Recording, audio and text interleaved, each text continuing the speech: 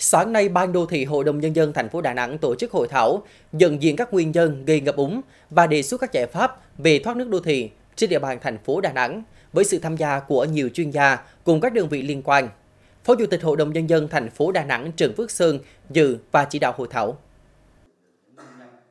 Phát biểu chỉ đạo hội thảo, Phó Chủ tịch Hội đồng nhân dân thành phố Đà Nẵng Trần Phước Sơn nhấn mạnh, vấn đề ngập lụt đô thị trong bối cảnh biến đổi khí hậu đang là bài toán đặt ra cho các địa phương đô thị, trong đó có Đà Nẵng. Do vậy, hội thảo tập trung thảo luận, nhận diện cho được các nguyên nhân gây ngập úng đô thị, đánh giá thực trạng công tác đầu tư hệ thống thoát nước trên địa bàn thành phố và đặc biệt là đề xuất các giải pháp trong thời gian đến, trong đó ưu tiên các nghiên cứu độc lập của các chuyên gia. Trên tinh thần đó, các chuyên gia đơn vị đã phân tích rõ các nguyên nhân gây ngập đô thị, trong đó nguyên nhân chủ yếu được xác định là do tác động của biến đổi khí hậu, tần suất xuất hiện của các trận mưa có cường độ lớn ngày càng nhiều. Cường độ mưa rất lớn tập trung trong thời gian rất ngắn, vượt năng lực của hệ thống thoát nước hiện có của Đà Nẵng. Trong khi đó, lại chưa có nhiều hướng thoát nước ra biển, ra sông. Thực tế này khiến cho những nghiên cứu trước đây đã không còn phù hợp. Do đó, phải được tính toán lại với những giải pháp căn cơ hơn. Theo nhiều chuyên gia, một trong những giải pháp quan trọng hiện nay là phải nâng cao năng lực thoát nước và mở thêm các cửa xả ra sông, ra biển. Theo tôi là cái cái ờ,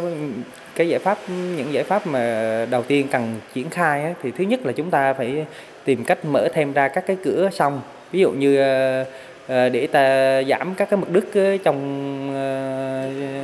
trong khu đô, đô thị. Ví dụ như ta sẽ tìm cách sẽ hạ thấp mực nước sông Phú Lộc bằng cách là ta sẽ mở các cái cửa ra các cái biển. Ví dụ mở mở cửa trên đường Phùng Hưng Hồ Quý Ly hay là Lý Thế Tông thì khi khi ta mở những cửa để ta sẽ phân lưu vượt qua cái khu vực khác thì mực nước trên sông Phú Lộc giảm. Thì lúc đó là mực nước ờ, cái vấn đề thoát nước thoát nước ở cầu Đa Cô ờ, hay là khu vực vệ xuất thì chúng ta mới có những giải pháp. Hiện nay là do mực nước lưu vực tập trung về sông quá lớn nên nó bị ngán nhiều ý kiến cũng cho rằng hiện nay công nghệ quản lý hệ thống ngầm, trong đó có hệ thống thoát nước đất lạc hậu, dẫn đến tình trạng ngập đến đâu chạy theo xử lý sự cố, giải quyết đến đó, lúng túng và bị động. Các tuyến đường vỉa hè gần như đều bê tông hóa, không thể thẩm thấu nước mưa. Quy hoạch hành lang thoát lũ chưa được quan tâm đúng mức, các hồ điều tiết chưa phát huy được vai trò thoát lũ. Cần chỉnh lại phân lưu, tăng cường các giải pháp thoát nước chủ động, tăng cường hệ thống bơm. Trước đây thì ở cái chỗ trung tâm huấn luyện thể dục thể thao quốc gia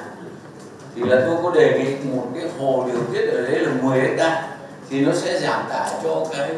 phía hạ lưu tức là nó có giảm tải cho cả xuống cái sông Phú Lộc đấy. thế nhưng mà sau đó thì người ta làm cái hồ nó có hai ba hecta thì cũng có hồ. Thế nhưng vậy tí tẹo ừ, chả có tác dụng gì cả